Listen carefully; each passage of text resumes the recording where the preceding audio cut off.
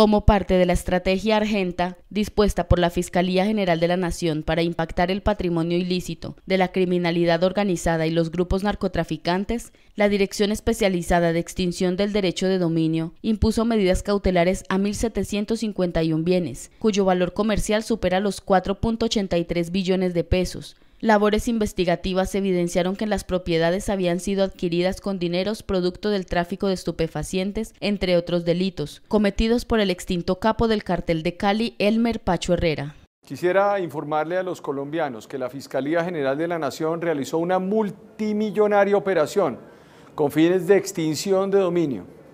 Impuso medidas cautelares a 1.751 bienes avaluados por más de 4.8 billones de pesos. Propiedades afectadas pertenecerían al narcotraficante del cartel de Cali extinto Elmer Pacho Herrera. Este resultado es producto de las actividades investigativas definidas en la Operación Argenta, que sirve para perseguir el patrimonio de la criminalidad organizada y los grupos narcotraficantes en Colombia. Las propiedades fueron ocupadas en diligencias realizadas de manera articulada entre el CTI de la Fiscalía General de la Nación y la DIJÍN, en Bogotá, Valle del Cauca, Santander, Bolívar, Atlántico y Caquetá.